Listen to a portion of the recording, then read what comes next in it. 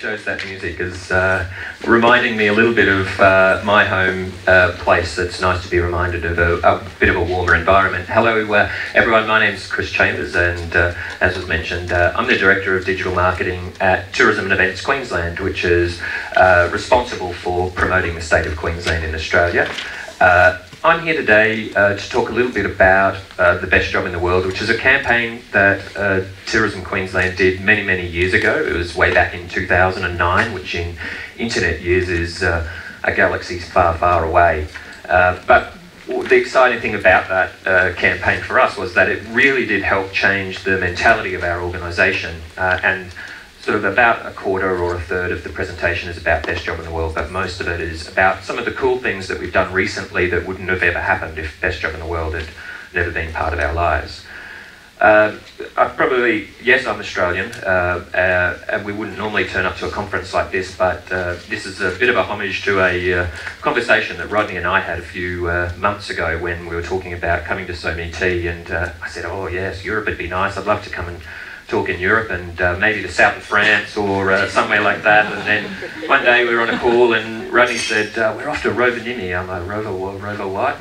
Uh, and so we did a little bit of Googling and Wikipedia and we got somewhere or other and there was a, a line that'll stick with me forever that was, during April, temperatures will rapidly warm. So here I stand waiting for temperatures to rapidly warm.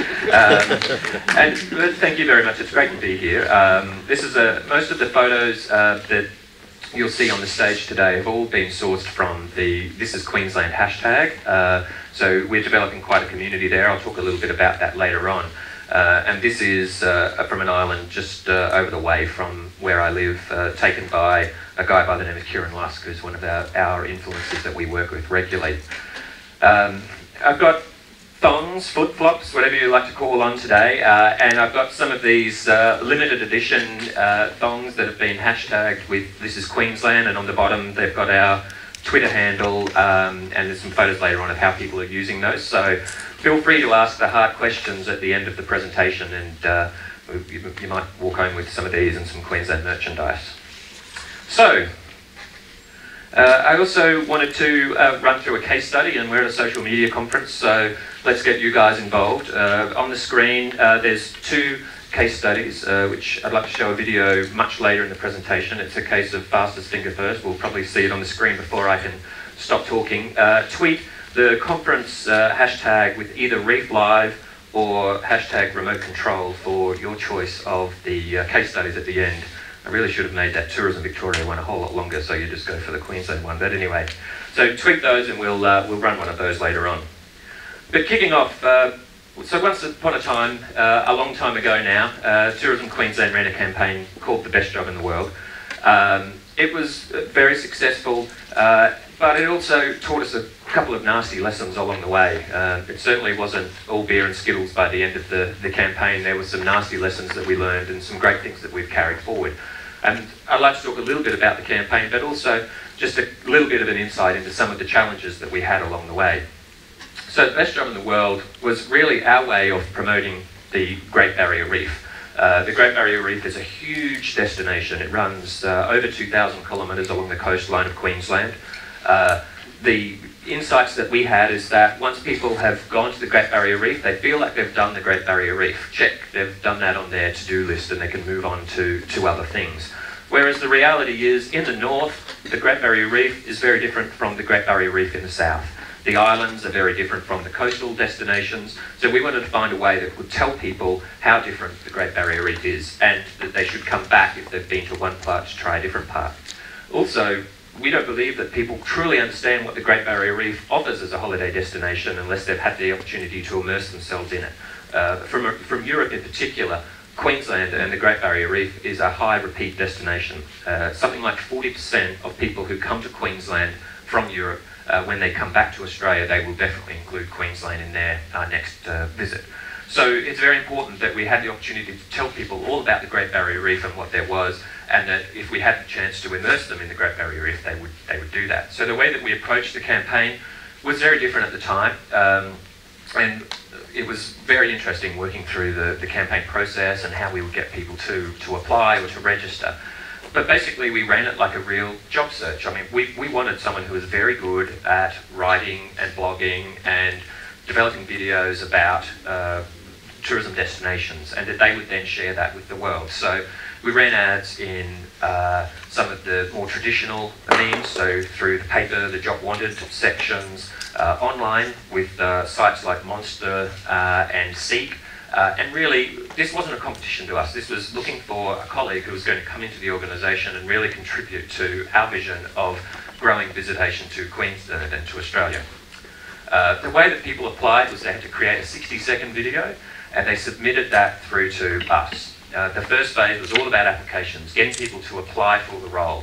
Um, over a period of about six weeks or so, uh, we then shortlisted those entries down to our shortlist of candidates, and that was a list of 50 people. And those 50 people were put onto uh, our website. Uh, from those 50, two people were, would be interviewed based on public vote. So it then was put back to the candidates basically to go out and run their own campaigns about why they should be the caretaker of the islands of the Great Barrier Reef. And TQ also selected 14 people to come down to Hamilton Island for a four-day interview process. Uh, and during that time, they were interviewed. It was pretty hardcore for them. They were put under pressure. They were put in interview situations. Uh, they were put live in, on television back into their uh, home markets. They had to uh, clean the pool. They had to collect the mail and do some uh, novel things along the way. But it was very much looking for someone who could really come in and do the job well. My first lesson that we learned out of it is that great work will get your ass kicked. Um, as I said, we've been troubled by some things along the way, but all in all, the campaign did really well. Uh, we had set some what we thought were very lofty expectations. 400,000 people we wanted to visit the site in that first application period. Uh, you can see from the graph at the bottom that we had 400,000 people visit the site on one day, on the first day.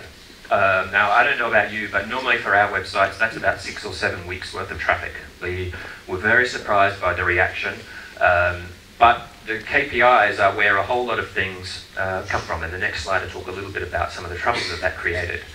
Uh, we had done some research into what type of reaction or response we should expect, and we figured we would get about 3% of the people who came to the site in that first phase actually applying. It was a pretty uh, intense application process. You had to go out and create a 60 second video. You then had to submit it. And so it was a bit of a bit of a process. So we thought 3% was good. We also wanted to maintain engagement through. This is a long campaign, so we needed to find ways of maintaining engagement and keeping people interested along the way. So those different stages that we had were designed to do that. And you can see on the graph there the different peaks and troughs of visitation. Um, and the search engine traffic was a good indicator for us of how many different people, uh, how many, how, for want of a better word, how viral or how word of mouth the whole campaign went, because normally we would expect that to be a whole lot higher from search engines. Uh, Facebook was by far the greatest referring uh, domain for us. So some of the things that we learned, um, I mentioned the KPIs. Uh, we had set 400,000 visitors as a KPI. Um, we had uh, what we thought was a good hosting solution in place for that. We had two servers that would run the site and one that would hold all of the database files, so people's videos would go onto that. Uh, but with 400,000 people arriving on the site on the first day, uh, that created some hosting problems, is probably the politest way of saying it. The site crashed. Um, I remember a horrible phone call, 3 o'clock in that first morning with my boss, uh, who was just going ballistic uh, about the site having crashed right as the UK was coming online, uh, and it was creating all sorts of problems. So we had to, one of the problems that we had was that we had to re-engineer the whole hosting environment as the campaign was live. We ended up with 13 servers to run the site, uh, and that was a whole new world of learning for me. Um, we also had to redesign the site. It was built in Flash, um, which there's another language from a long time ago, but it was all built in Flash and had quite an interesting navigation style where people could slide across and experience different things. We had to rebuild the site as, uh, as we were going, and we were releasing versions of the site whilst the campaign was live.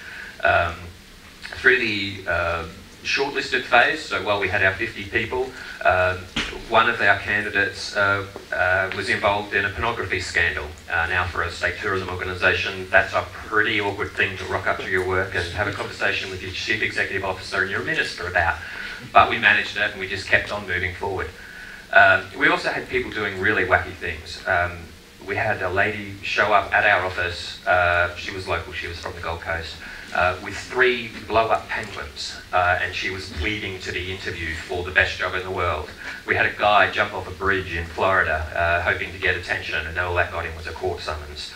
Uh, so there was a whole bunch of new things that we had to learn, but the lessons that we learned was great ideas are messy, and good things uh, are not. You're doing things where people haven't been before, so you're going to learn new stuff along the way. Um, so that's a little bit about Best Job in the World. Uh, and I guess where we came from that was that we, uh, as an organisation, learned that digital was very definitely uh, the place to be for us. Uh, we knew that we had to work with uh, digital influencers and these new content creators, and we could see the power of what content was going to be like in the future. So it really changed our organisation's perspective on digital and how we would go forward. So, Lesson number two, when you're doing a blogger or a, campaign with uh, influencers, is that you need to impress digital influencers. Uh, it's not good enough to work with digital influencers, you have to impress them. Um, and William, wherever you are, you'll, you'll see the DI's uh, reference here. We really believe that digital influencers are a key part of our future, and I'm sure you'll hear that often through uh, the next uh, few days. Um, and to that effect, Tourism Queensland is working on a project right now called Room 753. Um, and if someone can guess what Room 753 is, uh, we've got a great Queensland merchandise pack for you. Uh, just tweet me uh, with the answer and we'll catch up in the next couple of days. And I've got to confess it, I, I, I didn't work it out. Um, so good luck. Rodney, you can't answer. Uh, so Room 753 is our digital engagement uh, project for this year. Uh, it's basically come from the insight that we want to work with these nomadic bloggers, bloggers who are constantly traveling the world and writing about tourism destinations uh, and sharing content with their audiences. But what we've noticed is that uh, amongst some of the digital influencers, they're really starting to become a little bit jaded by the whole idea of constantly traveling and they want some downtime to either just live or to catch up on the content that they're creating. So room 753, and there's a description there from one of our current guests, Miss Malini, who's just spent some time in the Whitsundays, uh, is a two-part itinerary. So the first part, um, I call it a, a hyper-customized touring experience. So these people uh, spend up to a week touring Queensland with a very customized trip. Uh, it's all about them. Uh, we get them to complete a survey, which is a few pages long, it's got lots of different questions, fun questions, random questions that are really designed to give us an insight into what this person enjoys doing either in their spare time uh, or just in general. Because then we weave those things into the, uh, into the visit. And as an example, uh, we just had a guy down on the Gold Coast uh, who was there over the time of the professional surfing tour, and he was a surf blogger. Uh, we spent him, uh, we sent him in a camper van with three uh, surfers up the coastline. He had a chance to just hang out with them and surf breaks and do gnarly stuff or whatever it is that surfers do. Uh, and then, um, as part of his itinerary, we set him up with uh, a visit with Mick Fanning, who's a professional surfer from Australia who won uh, the World Championship. Uh, we set him, him up to go and sit with Mick Fanning's mum and have a conversation over dinner one night. And the content that this guy created out of that visit was really great, and it was the type of stuff that we want. So the first part of these Room 753 visits is a hyper-customized experience. They get out and they have a, an itinerary built just for them. They're on their own. Uh, we've got 22 of these visits lined up back to back uh, right the way through until the end of June, so there's a decent team working on it. But then the second part of the itinerary is that we put them in a quintessentially Queensland location. It's an apartment on the Gold Coast uh, in the middle of the uh, restaurant and retail area with a beautiful view out over the ocean. And during that week, our expectations are that the guest will just have the opportunity to rest uh, and relax and catch up on whatever it is. So some of the feedback that we're getting is that uh, people are really just appreciating being able to stop for a week and have a kitchen to cook meals, home cooked meals in. Um, they're really just enjoying that downtime. But what we're also seeing is that they are creating great content whilst they're in the room. And I might get you to play the first video now, if you don't mind. Uh, this is from uh, our first guest, uh, Rob, uh, who was just doing a little bit of a tour of the room. Thank you. And welcome to today's episode of Stop Having a Boring Life.com. I'm on the Gold Coast at Pepper's Broadbeach. Just checked into room 753. and I'm to be here for one week. I absolutely love this room and I'm excited to give you a tour, so let's get on with it. All right, here, we've got the kitchen table. A little chill out area. Potential working spot, although I think I'll be over in the living room, which we're about to see. Here we've got the bathroom. I don't know what to say about it except it's beautiful. Stand-up shower, a tub, which I'm definitely gonna use. In here, we've got some place, get my clothes, since I'm gonna be here for a little bit. I might as well get quite acquainted, moved in. Got a big comfy bed with a great view, but we'll get to that in a minute. We've even got my dog. My dog Charlie's here.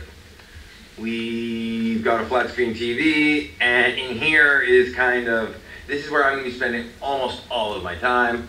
Nice flat screen TV, comfortable looking couch, some wine to get acquainted with, some of my golfing buddies. Got a nice kitchen. It's been a while since I've had a nice kitchen. We'll probably do a little bit of cooking at some point. Um, let's see, fridge, perfect. We've got some beers on ice.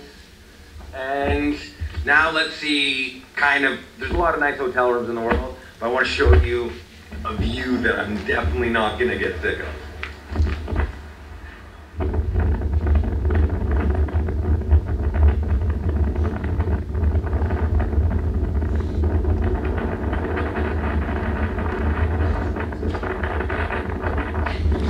Down there, we've got a pool, tennis courts. So yeah, I'm gonna be here for a week. This is called Room 753. It's an initiative by Tourism Queensland. I'm beyond excited to be here. It's been a busy week last week in Australia. Now I've got a week to just chill out. I'm basically gonna be catching up, doing some work here, exploring some of the local cuisine options, some of the nightlife options, play a game of golf, do some kiteboarding, and take a tour of a brewery.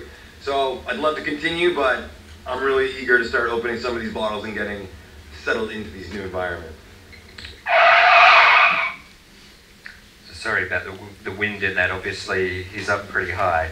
Um, so, so far, um, th- these results uh, that I've got on the screen are to the end of February, but I, I just got an email through overnight from a member of the team with a bit of an update on uh, how the campaign's going. Uh, it's important to note that we're not uh, focusing on reach as part of this um, uh, this campaign, and that's actually been one of the difficulties internally is communicating that sometimes our really important guests don't have massive audiences. Sometimes they are just small communities or smallish communities who have very engaged audiences. So that's been one of our challenges is how do we communicate the value of some of these visits when you're not talking about people with hundreds of thousands of followers on Facebook or millions of followers on um, Google Plus or whatever it might be.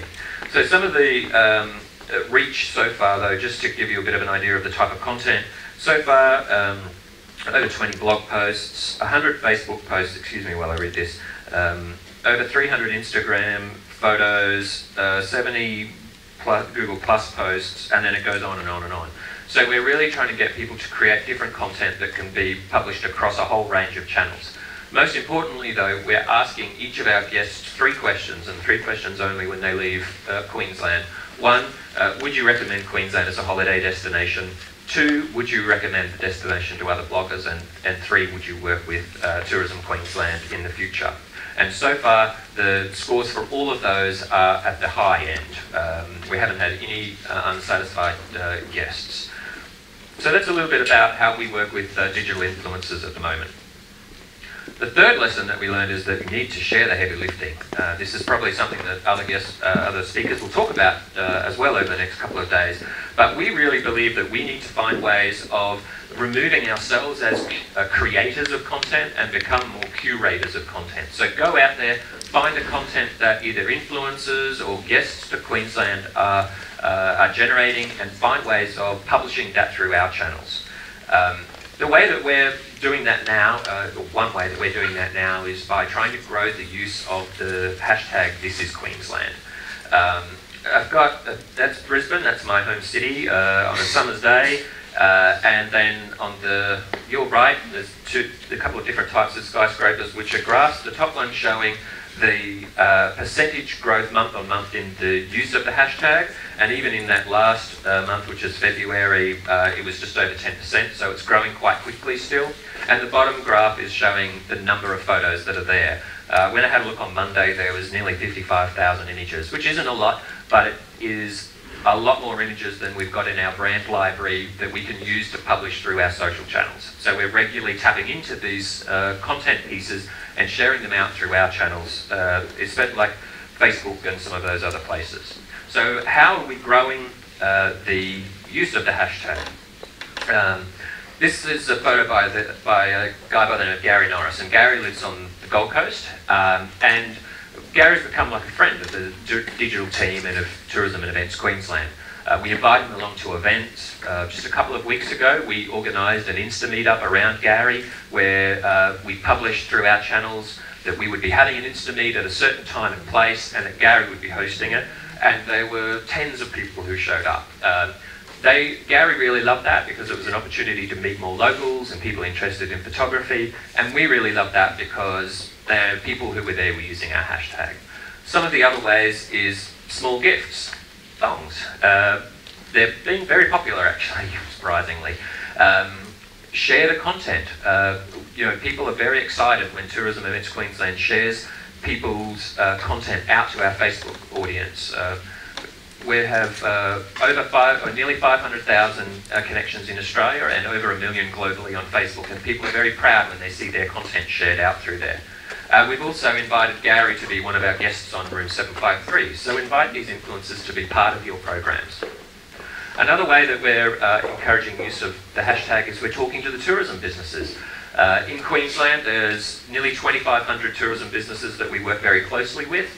Um, and we regularly encourage these tourism businesses to hashtag their own photos with our This is Queensland hashtag when uh, they are publishing content to social media. And we do that basically by telling them if they want us to be aware of their content, the best way to do that is just use that hashtag. Don't email us when you put a new photo out, don't ring us, just hashtag it with This is Queensland and we'll see it when their content goes live. Live, excuse me. Uh, we also regularly share their content and we send digital influencers to those uh, businesses that are active in the social space. So it encourages them to, uh, to, to share their content digital influencers. So this is a photo taken by one of our guests on room 753 from the top of Q1, which is a big tower on the Gold Coast. And uh, we then um, include the This is Queensland hashtag in all of the documentation that we provide to uh, these people as they arrive. So it's on the front of their itinerary, it's on their welcome letters, uh, we talk about it to them in advance, so they're really encouraged to, to use those hashtags. And one of the um, current popular ways is our own staff. Um, so this photo is, I have no idea why her name is Piggy Stingray, but anyway, this is Jane Webster. Jane is a member of our Famil team, so regularly out organising uh, itineraries for visiting media and trade, out of the office a whole lot more than any of the team in the digital marketing team, as you can tell by my fluorescent light tan. Um, but they're out there, they're taking photos, and they're actually sharing it. The great side of benefit of this is that we're also educating other members of the TQ team about digital, so they become a whole lot interested. Um, so there's some of the ways that we're encouraging sharing, and of course then we take that content then and publish it out through Facebook. Build your platforms is uh, the fourth lesson, uh, including the ones you rent. Uh, I'm sure this will come up a lot over the, the next couple of days, but uh, Facebook for us is a very valuable asset. Uh, alongside our email database, it's probably one of our most valuable assets. Um, so we believe that we need to build our connections in social so that when we've got campaigns, uh, when we've got great content, we can share that out through those channels and have a ready-made audience to tap into. Uh, when Best Job was launched, uh, we had 34,000 connections on Facebook. Um, as I mentioned, we've now got over a million, uh, which creates a whole bunch of new challenges. But what we learned through Best Job was that those 34,000 people were really keen to help each other out. It really was a community then, where people, if they were having troubles loading their videos or getting questions answered, they could go to Facebook and they could get those questions answered a whole lot quicker than by emailing or trying to phone us. There's just a chart I've put in there about organic reach. Uh, I'm a bit short on time, so I'll leave that one and I'm sure it'll come up in some of the other presentations. listen in, engage, but not in a stalkerish, creepy kind of way. So um, one of our other initiatives is uh, what we call internally surprise and delight. Um, and surprise and delight is basically where we have set up in Hootsuite a whole bunch of search filters and terms uh, that we are using to listen in and to understand what people are enjoying or doing on their Queensland holiday. We then look for the right opportunity to jump in and thank people for talking about Queensland or the experiences that they've had. Uh, it's been very successful. We've been running this since June.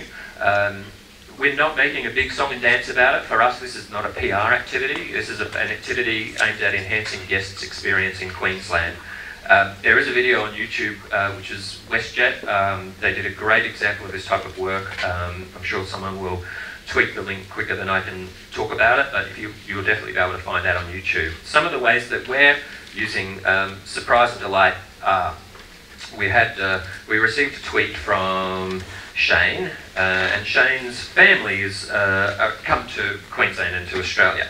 Um, and because they've used a hashtag or a handle, we noticed this conversation and we messaged him back something saying, you know, don't worry, we'll look after him, uh, after them. And by the end, uh, we found out where they were going and, and, we shouted them a day at Australia Zoo. Australia Zoo is Steve Irwin's um, zoo on the Sunshine Coast. Uh, the great thing out of that is that they've then photos that these guys have taken and shared that out through their social channels. Uh, another example is this poor lady's uh, thongs broke on her walk home, um, and she felt like a bit like a bogan, a redneck, I don't know what the thin phrase for that would be, but anyway. Uh, so we, um, we, we, saw this message and we sent her uh, a care pack with some new thongs and some Queensland hat and then Queensland merchandise, and she tweeted that out about it. And this is probably this is a great example of um, a couple travelling the Queensland coast. So that's a very popular holiday for people who come to Queensland to travel the length of the coast. Um, these guys um, engaged with us. They asked us some questions. They wanted some recommendations uh, within Cairns. Uh, there's a great restaurant in Cairns called Red Ochre Grill, which serves kangaroo and traditional Australian food. So we shouted them a meal at the Red Ochre Grill, and they published some content out about it. The last lesson that I'd like to share is to take a road less travelled. Um, and for us, if we had never stepped off uh, the normal campaign activity, if we hadn't tried to do something like Best Job in the World, uh, we would never be where we are. Uh, so try new things, take calculated risks, and learn. Um, I don't know. I've realised a challenge with my process, which is that, of course, everyone said they wanted to see the Queensland case study. So um, if we could roll the Queensland case study, uh, this is an example of a, a, different project that we worked on last year called Reef Live, where we broadcast live from and under the Great Barrier Reef for 12 hours. It was streamed through YouTube and we encouraged audience participation through various social channels. Um, if you could play the Queensland, the Reef Live video, please.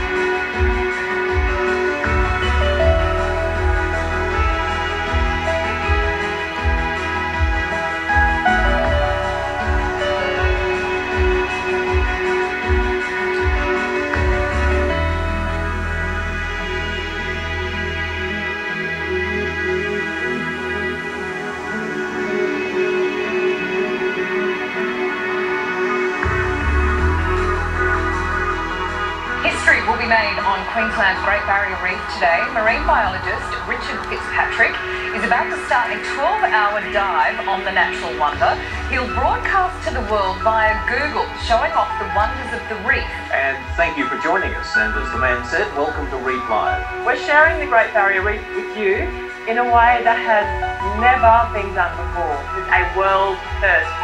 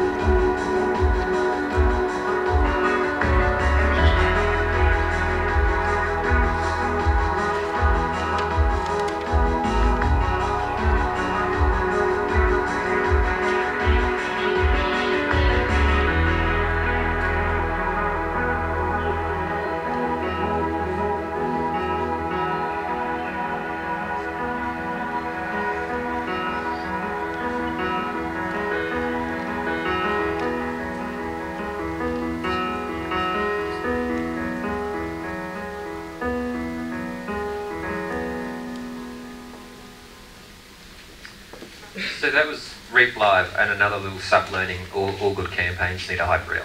Uh, so thank you very much. I look forward to spending time with you over the next two days. Thank you.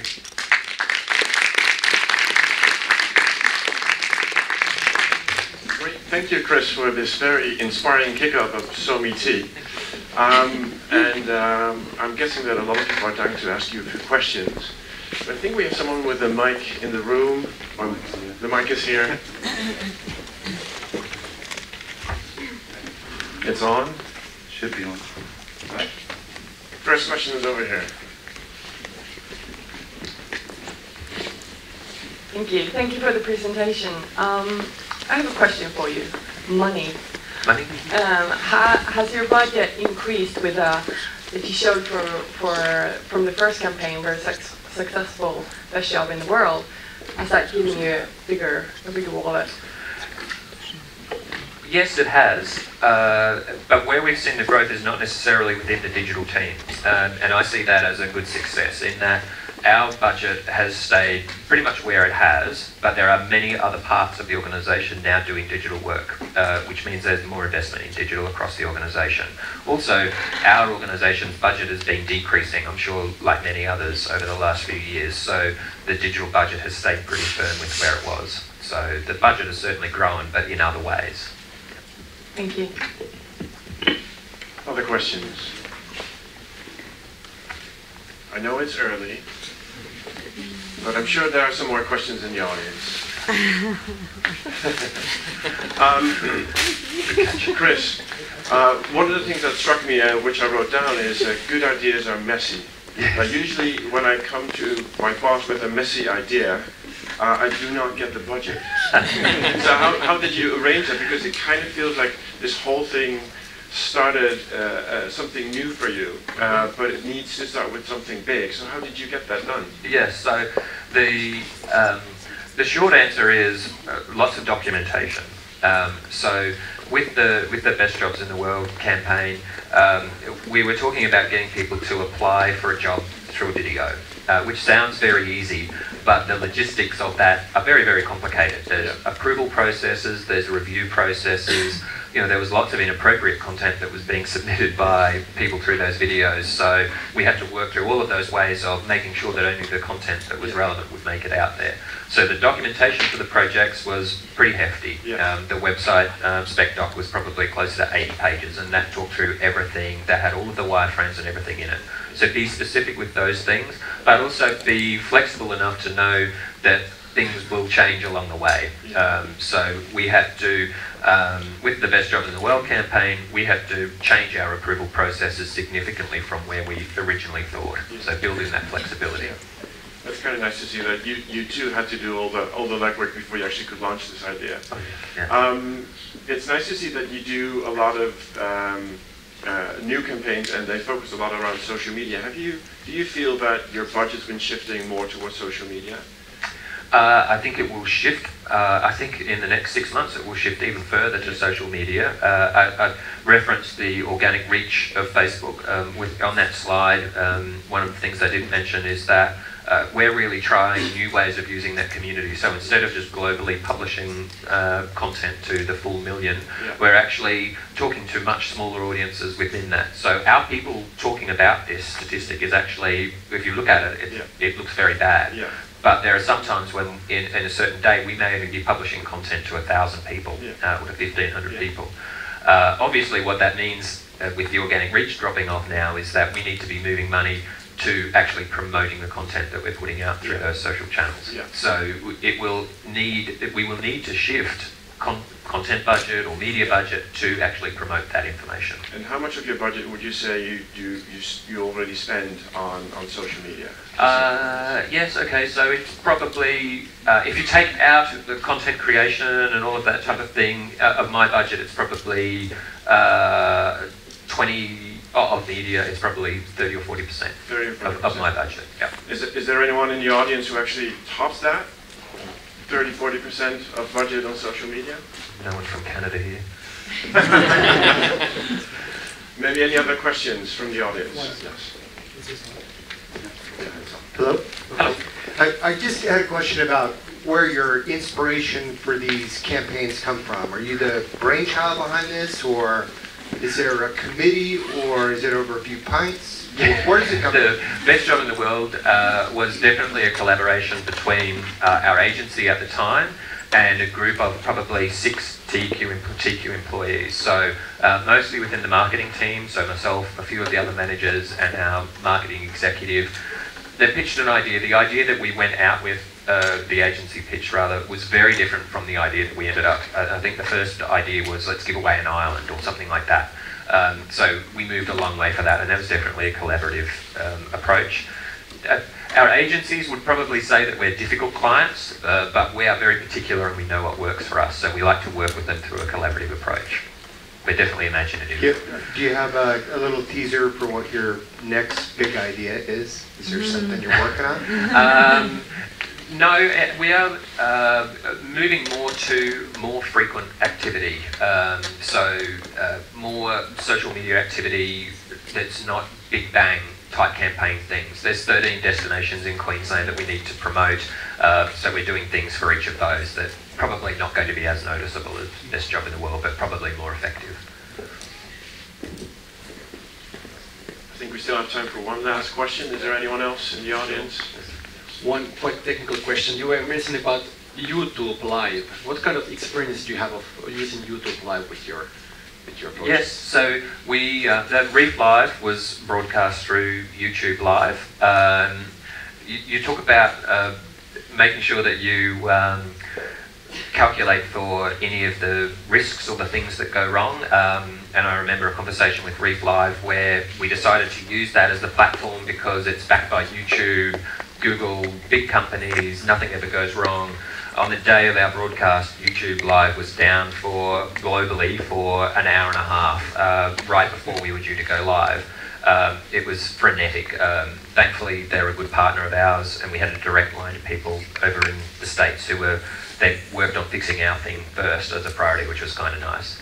So my first uh, experience was not so good, um, but uh, over the course of the day, it worked brilliantly for us to be able to do what we needed to. Uh, I don't know what you what you probably couldn't get from there is that behind the scenes there was a full TV studio basically running the broadcast. So you need to invest in that side of the project to make sure it all work properly. Great. Uh, thank you. Thank you, Chris.